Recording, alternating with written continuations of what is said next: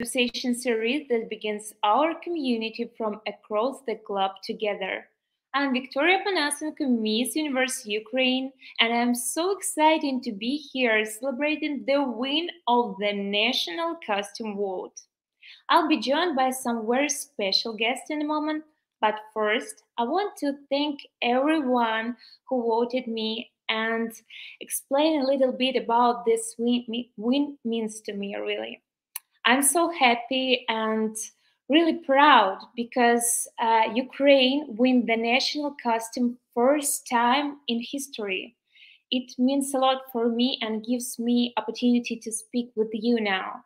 I I'm really grateful for you for your support me and my country.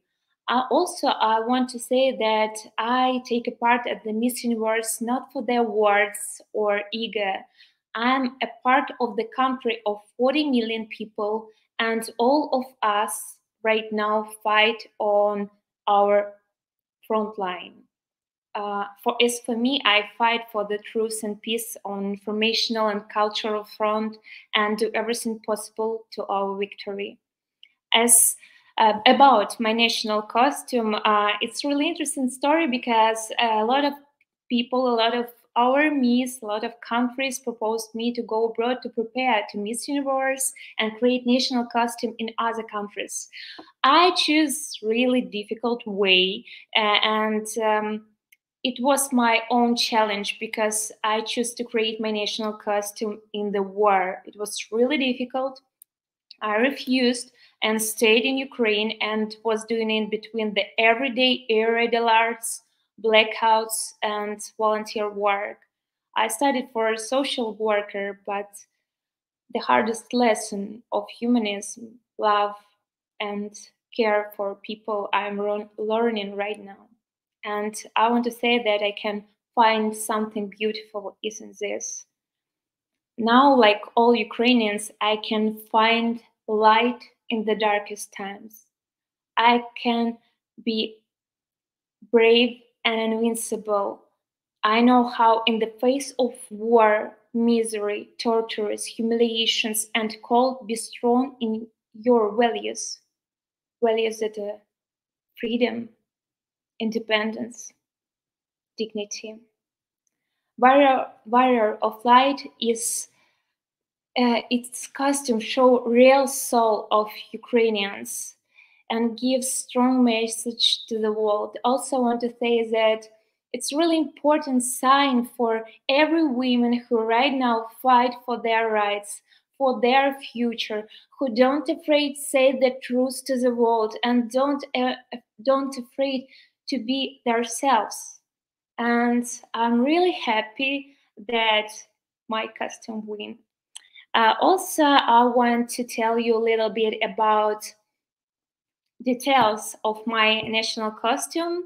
As I said, my costume symbolizes our nation's fights against the darkness. Um, I was inspired by Archangel, Archangel Michael.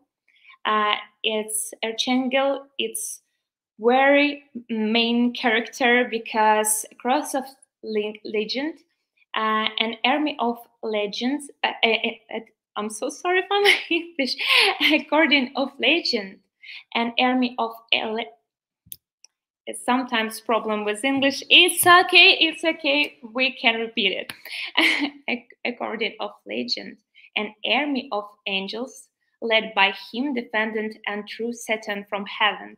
Like all Ukrainians right now, we fight with darkness we fight with big evil and i know that we will win.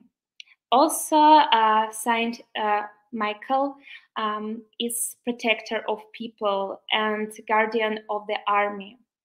Also this angel is patron of kiev that's why i choose him and it give me real power on the stage um, and uh, I feel that at that moment, I feel that all Ukrainian people stay with me on the stage. Uh, my national costume consists with uh, monolithic gemsuit. It symbolizes armor, White dress consists uh, of stylization of vyshyvanka with poofy sleeves and skirt that has more than 10 meters of fabric to it. It's like on me, it's also vyshyvanka. Uh, on my head was uh, headwear is decorated with spikkles, which are traditional in Ukraine. And also the wings. Symbolic wings are burned in the battle framed in a blue and gold armor in the colors of Ukrainian flag and decorated with various mirrors ornaments opened for the decisive battle. Uh, the costume was created in Ukraine in four months in extreme conditions to the towns of Syrians without electricity, without materials, and by candlelight. It was really difficult. I remember it, but I think uh, my designer is Lesia Patoka. She's really amazing and very talented person, and I'm so happy that I choose her uh, for this national costume. Also, an interesting fact about my national costume: I had two wings, and um, it happened because. Um, five months before the Miss Universe, I met uh, the crook feather and we decided to create mechanical wings. You saw it on the stage. Uh, it was five meter wings. It also have armor uh, with Ukrainian symbol and um, color. But because of the war, it wasn't not possible to bring them to Ukraine realizing that situation is really critical and we need to do photo shoot in Ukraine, Lesia Patoka, my designer, created the wings that you saw on their photo shoot in seven days without light. I remember that period, it was really difficult because we had missile attack and I think she did something impossible, really impossible. And I'm really, really proud of her. I repeat it every time. She's really amazing. After Miss Universe, I sold the wings from my national costume by Lesia Patoka and collect more than $10,000. I transferred the money to the Kind Deeds charity organization, um, and uh, this organization uh, production to protheses for Ukrainian military. And it's it's real big symbol for me because my wings ha- help somebody uh, to bring new life. Um, one of the reasons I'm most happy about this win that the Miss Universe organization is making a donation to a charity of my choice in celebration of this win. And I'm so excited to announce that I'm doing this through the United Nations Global Compact Network Ukrainians project Mental Health. Their purpose is provide free psychological services to people affected by Russia's war against Ukraine. It's such an important and effective tool to help Ukrainians return to a fulfilling life and I'm so grateful for it because I worked with this project one year and I live in the war one year. I understand how it's stressful because you live in constant stress every time. And I think that this organization did do very, very good job.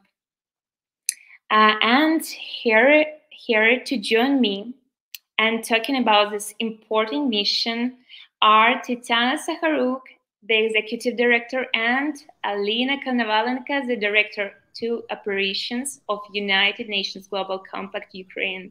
Let's welcome to them to the stream. Hello, girls. I'm so happy to see you. Tetiana and Alina, thank you so much for being here with us today. For those in the audience who are new to this mission, can you explain a bit about the work that you do? Uh, hello, everyone. Thank you for invitation. It's a great pleasure to be here. Um, we both are from United Nations Global Compact Network in Ukraine. Global Compact is the world's largest corporate sustainability initiative.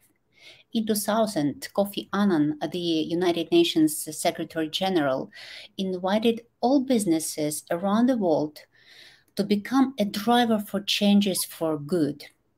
Today, we have more than 18,000 participants uh, in our network. In Ukraine, we were the most fast growing network, local network in eastern part of Europe.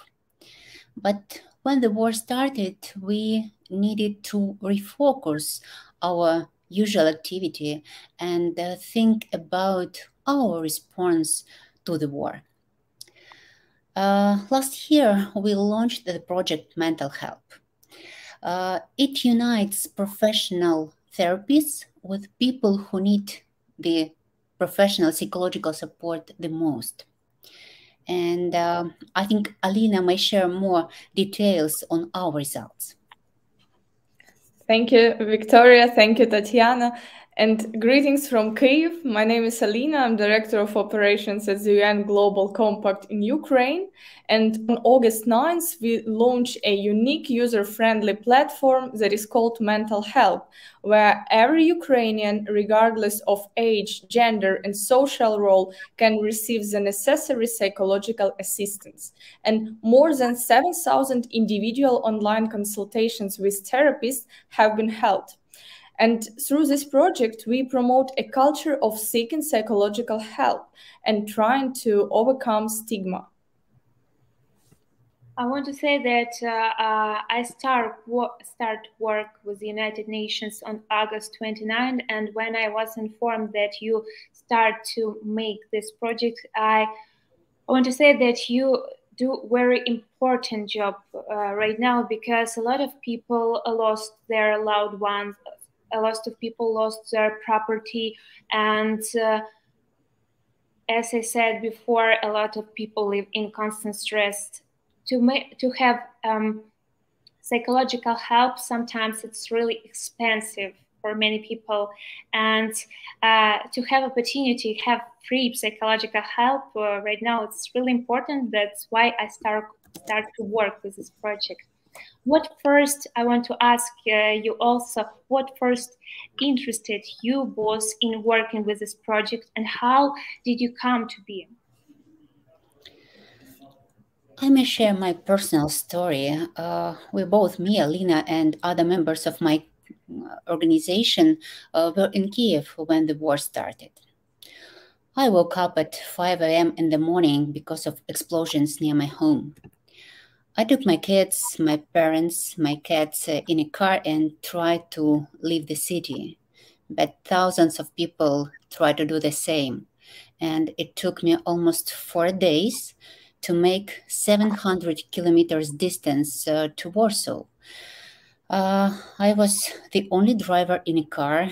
I wasn't able to sleep for four days because uh, we needed to move constantly for every 15 minutes uh, for one car distance. Uh, and I was completely exhausted when I finally crossed the border. My husband, my brother left uh, in Kiev because they were needed at that time there. And I became alone uh, with nine people dependent on me in a foreign country without local language, without home, without school for my kids, with many, many problems. And uh, I needed to solve all them in a very limited time because we needed to continue. And of course, I thought about my team, where they are, how to help them to escape from the war. In Poland, I saw many desperate Ukrainian people they were everywhere. They didn't know what to start doing or where to go. Yes, and during this time i'll continue and share this story from my perspective that during this time we have been uh, in several roles from those who ran away from the war to those trying to adapt to a new country and then to return to a completely different country ukraine it's tough. And I went through this path with my therapist, and it was easier for me. But I always thought about those who could not afford such services and those who were in more complex conditions. And people lost their loved ones, homes, jobs, and their faith in the bright future. And uh, we wanted to give them a helping hand. And mental health could become this helping hand. And on this platform, we help children and adults um, who can be support for children. And it is really important to help people adapt to a new reality. Also, want to ask what the challenges of starting a project like this in the midst of war? Uh, first of all, people how to find in a limited time uh, people who are experts who are in ukraine who can join the project who who are is uh, in more or less safe environment who has light at that time when it is needed. It was the great challenge to find a team of professionals.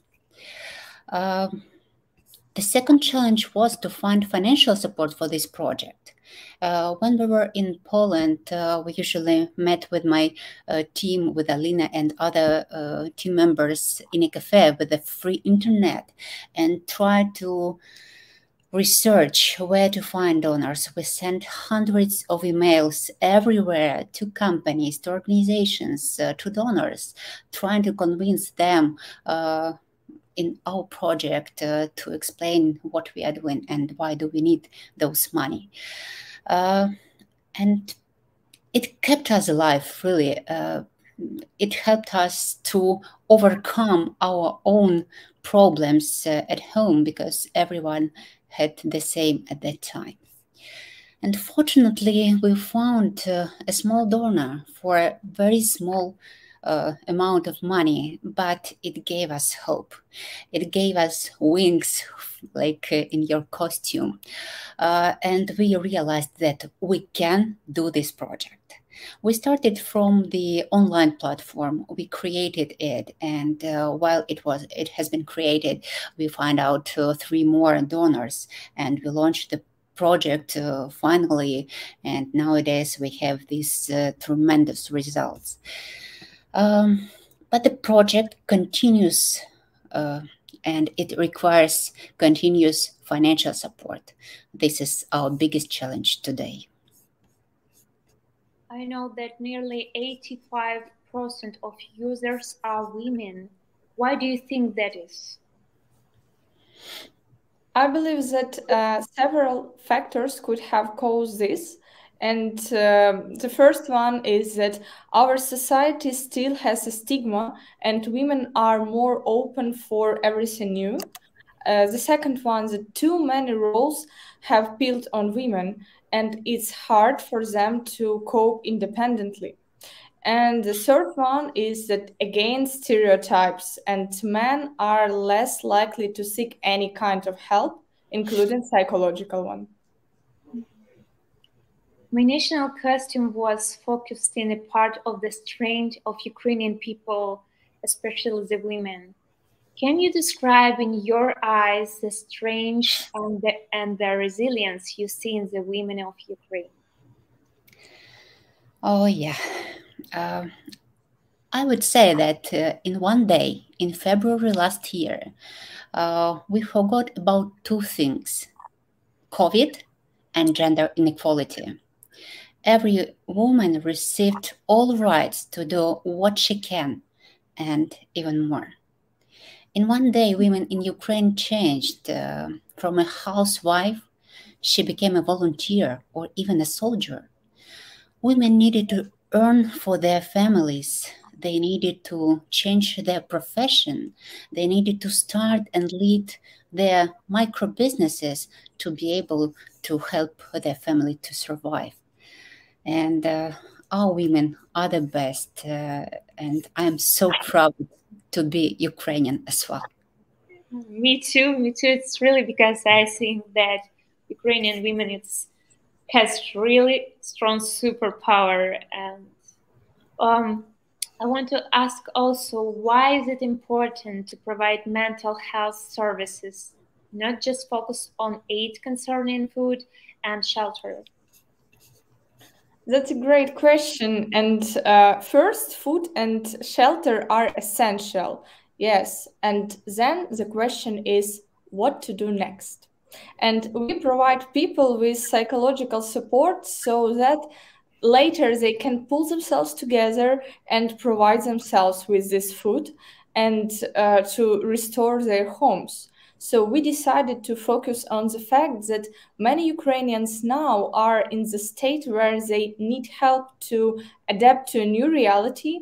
And with the proper support and motivation, they can move on and it's a long-term project so we want to support the health and well-being of the entire nation and we need to start doing this right now and restore psychological health of ukrainians just from this moment so uh, it's what we are doing now mm-hmm. have there been any particularly rewarding experiences for you working on this project the biggest reward for us is uh, feedback from our participants.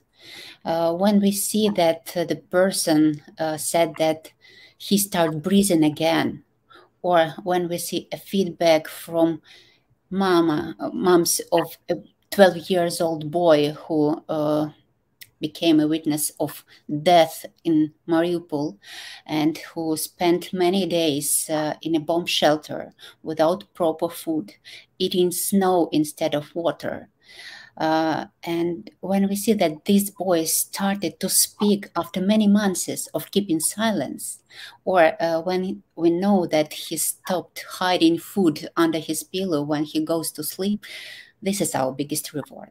And uh, of course, we are proud when media uh, says about our project. And we were really grateful to the Ministry of Health of Ukraine, uh, who um, appreciated our project and uh, uh, recommended it to Ukrainian people. It's really great because, as you said, sometimes uh, many people right now don't understand what really happened in Ukraine, what uh, really happened with people, what psychological trauma they have, and this project really helped people to start new life. I want to ask also what is the future of this project? What are your hopes for the people of Ukraine?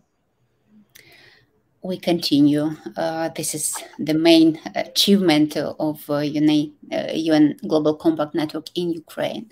We continue this project. Uh, uh, we see how great our online platform is.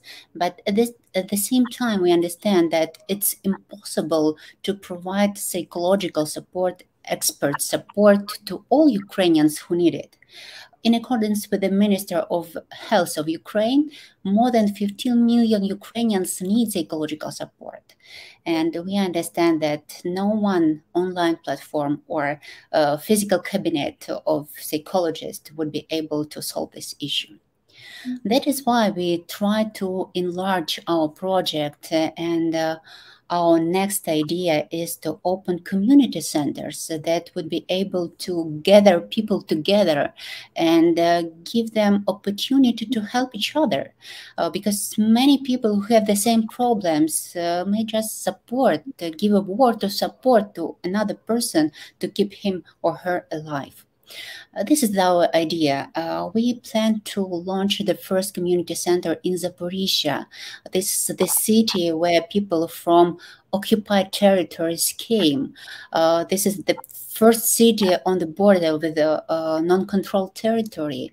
And uh, we hope that this project would be able to help many people, thousands of people, uh, to receive this breeze of life.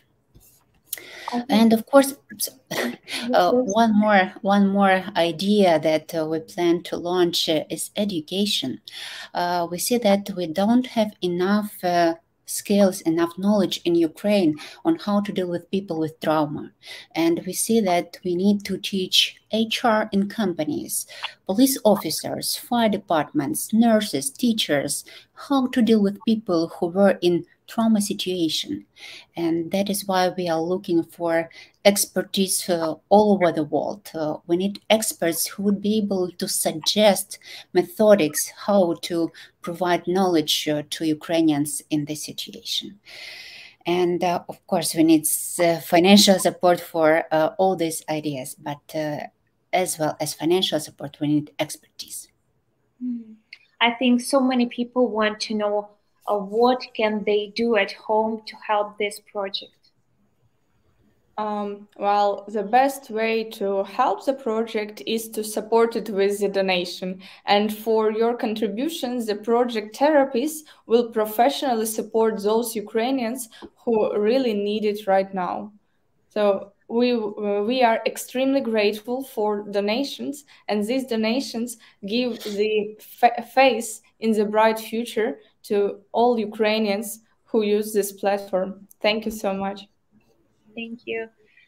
You are both obviously female leaders in your own lives. Can you tell us about your experiences becoming such an amazing leaders?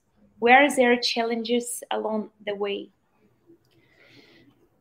I'd say the main idea is to challenge yourself. Uh, when I was 30, 33, uh, 33 years old, uh, we moved to a small city with my family. I had two kids, uh, and I decided to uh, find a new job. I was a lawyer.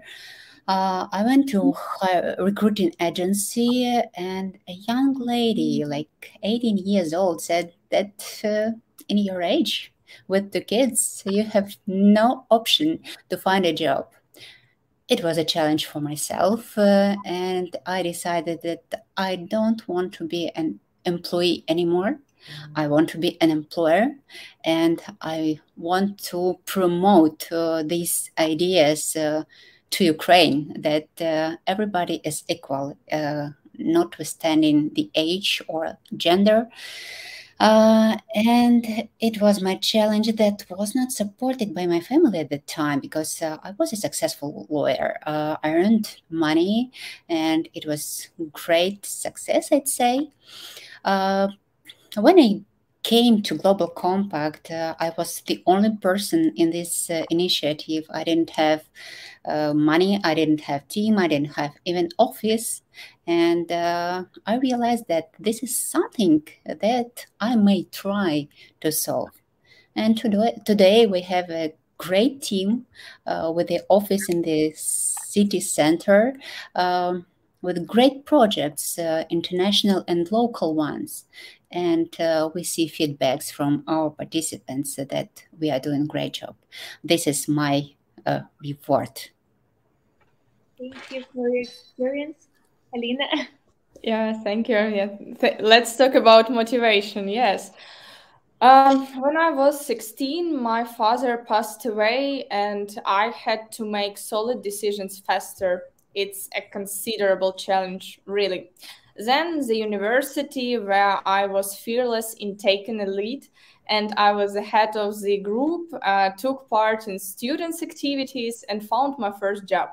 And I believe that developing empathy, building long term trustful partnerships with people, and being open to everything new are crucial factors in leadership development. And the world is full of opportunities, and you just must see them and I can be rejected 50 times, but I will try this 51st time and I will be accepted. Uh, and there are always a lot of challenges, and I try to solve them or to ignore them if possible. As I said, every time brave and strong women not born in comfort zone, they made in fire, and you're a great example of it and i'm so proud that i can work with you and that i know you.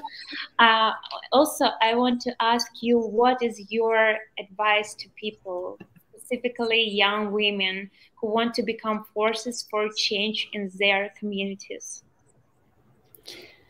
I would say do not wait. Help is needed here and now, and it is never a good enough moment to start. Just start today from a sm small thing. And I believe that good projects always find partners mental health is a great example.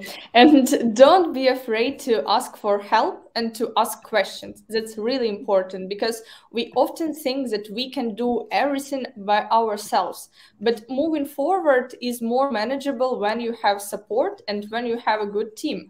And i'm grateful to our team that together we can make impact. That's very important.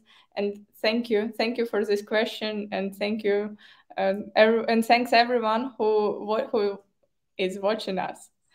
You are oh. all leaders. I want to also say thank you both again so much for joining me today to talk about this important mission. I so appreciate you sharing your insight and perspective. And it's been an honor to chat. So we thank you again for your time. As a reminder, please tell the audience where they can go to help and any social media accounts they should follow to stay updated. Yeah, thank you everyone. You can uh, find us online and we would be extremely grateful for any kind of donations to the project and any kind of support. We are really open for partnerships and we will um, leave the link where you can come to see and check our platform and even to use our services uh, if you speak Ukrainian. Also, we have an Instagram account, Mental Help, uh, so our audience can follow this page. Great. Thank you so much. Uh, thank you for the opportunity to share our experience and to share information about mental health project. Uh, I hope that if you have some expertise, uh, you will approach us uh, through uh, social media or through our site, uh, and we will be grateful for any ideas to work together. Thank you again. Thank you again for joining us at home, the Miss Universe team will be adding some links to help in their social channel challenge and episode description below. And I want to say thank you again to all those who voted for my national costume. It has been a great win for my country. And I want to say that remember that you are strong, you're beautiful, you're so powerful, and you must fight for your dream, for your beliefs, and for your future. And also, I'm infinitely grateful for this conversation, and I'm convinced that good will definitely win. The light will overcome the darkness. See you soon. Miss Ukraine Universe and United Nations Global Compact. Goodbye, guys.